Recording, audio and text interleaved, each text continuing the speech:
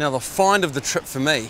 has been this set of gear. It's the Thunnus 4000 and it's on an Energy Concept three-piece travel rod. Now I got this set put together with 20 pound braid because I thought it would be great fun to be able to cast out baits to the sailfish and because it's got this bait runner function just like the normal bait runners you can flick the bait runner on you can sort of feed out the line and when you're ready to strike just sort of click it into gear now that's a feature that's been popular with bait runners for a long time. So it's got that function but with braid on it it can be used as a soft bait set a jigging set and I've been using it for top water fishing casting light top water lures. So it's incredibly versatile a very high quality rod yet